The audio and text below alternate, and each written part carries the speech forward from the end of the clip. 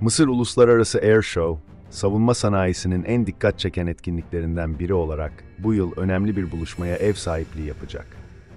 Geçmişte muharebe sahasında karşı karşıya gelen Rus yapımı Pantsir hava savunma sistemi ve Türk yapımı Bayraktar TB2 insansız hava aracı bu kez fuar alanında bir araya gelecek.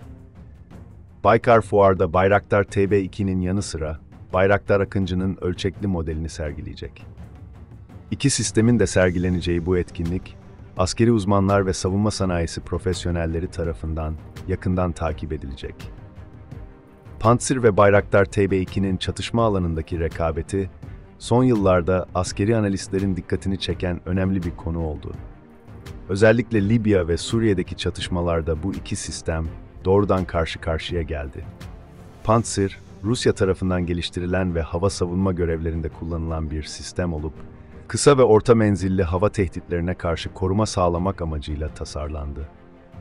Bayraktar TB2 ise Türkiye tarafından üretilen uzun dayanıklılık kabiliyetine sahip, özellikle keşif ve taarruz görevlerinde kullanılan bir insansız hava aracı. Libya'da Birleşmiş Milletler tarafından tanınan Ulusal Mutabakat Hükümeti ve Hafter güçleri arasındaki çatışmalarda, Mutabakat Hükümeti'nin envanterinde bulunan Bayraktar TB2'ler, Hafter güçleri tarafından kullanılan Pantsir sistemlerine karşı operasyonlar gerçekleştirdi.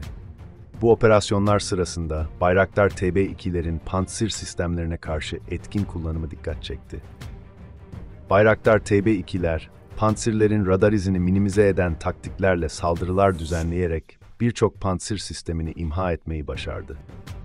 Benzer şekilde Suriye'deki çatışma ortamında da Bayraktar TB2'ler, Rusya'nın desteklediği Esad rejimi tarafından kullanılan Pantsir sistemlerine karşı başarılı operasyonlar yürüttü. Bu operasyonlar, Bayraktar TB2'nin etkinliğini ve modern hava savunma sistemlerine karşı kullanılabilme kabiliyetini bir kez daha ortaya koydu.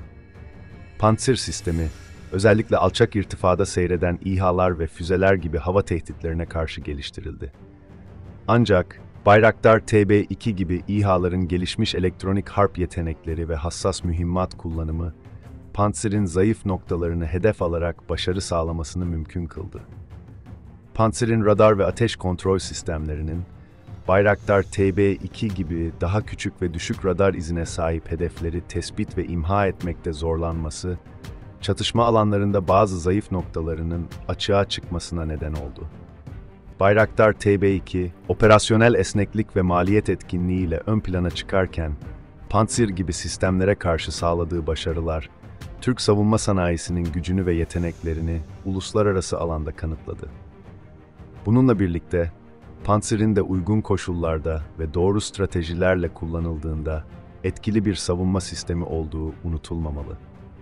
Ancak Bayraktar TB2'nin özellikle Pantsir gibi sistemlere karşı gelişmiş taktikler geliştirmesi, kullanıcılarına muharebe sahasında önemli avantajlar sağladı. Mısır Uluslararası Air Show, Pantsir ve Bayraktar TB2'nin yeniden bir araya geleceği bir platform olarak öne çıkıyor. Fuarda her iki sistem de potansiyel müşteriler tarafından yakından incelenecek. Pantsir'in etkili bir hava savunma sistemi olarak avantajları, Bayraktar TB2'nin ise düşük maliyet, operasyonel esneklik ve modern çatışma koşullarına uygunluğu, bu iki sistemin sergileneceği standlarda yoğun ilgi görecek.